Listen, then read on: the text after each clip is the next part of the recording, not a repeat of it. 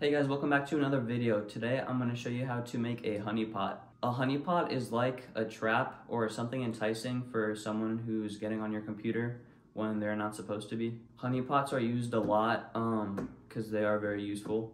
So I'm going to show you how to set up a really simple one. Uh, this video is probably going to be like under three minutes. Uh, anyone can probably do this. So basically you're going to make an enticing file and then if someone clicks on it, then it's gonna send you a notification to your email. So um, you'll have their IP address and stuff, what time they clicked on that file, um, all that important stuff. So let's do it. All right guys, so get on your computer and then we are gonna open up Chrome or whatever your browser is. And then just type in Canary tokens. Open the first one.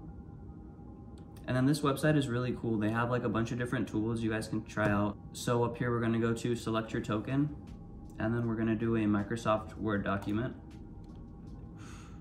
And then right here is where you're gonna put your email where you want the alert to be sent. So make it an email that you um, look at a lot. And then down here, um, this is gonna be the note whenever the token is triggered. So I'll make it honeypot triggered. So click create, and then it's gonna give you a downloadable file. So download it, and then it's gonna pop down here, uh, downloaded. So now we're gonna go to our files. We're gonna go to downloads.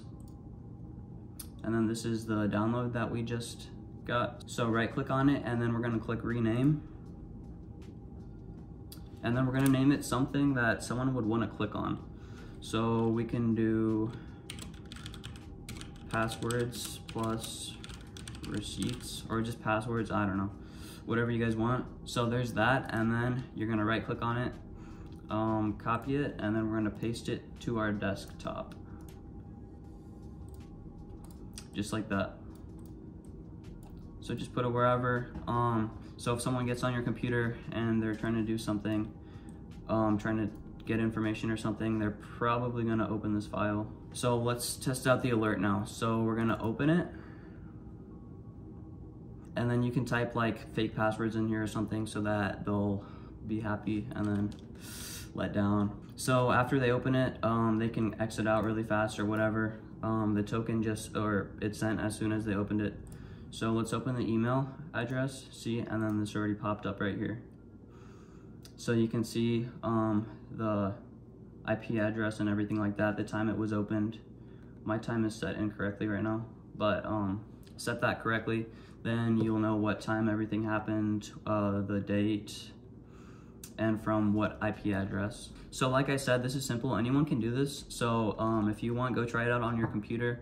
Um, that way if someone gets on it, you'll know. And then also, like I said, and showed you, there was a lot of other tools on this website. So um, if you guys want, just go play around with those. And yeah, that's it for today. So if you guys enjoyed it, uh, leave a like and subscribe, and I'll see you in my next video.